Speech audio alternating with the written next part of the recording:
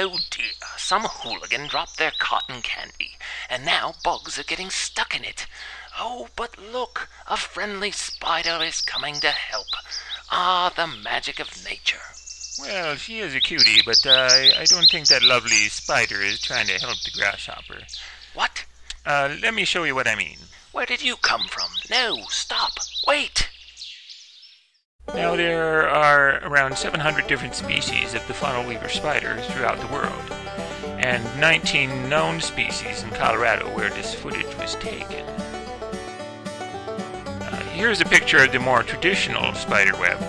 The web of the funnel weaver spider is more sheet-like uh, than the thread-like spider web, and, and of course is funnel-shaped. Uh, you know, seriously, they never shut up about it.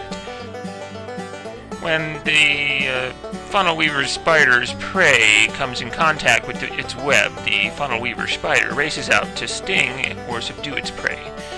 Then, after preparing its dinner, it uh, drags the prey down into the tunnel or, or funnel to, you know, probably the dining room. You know, that's where they eat.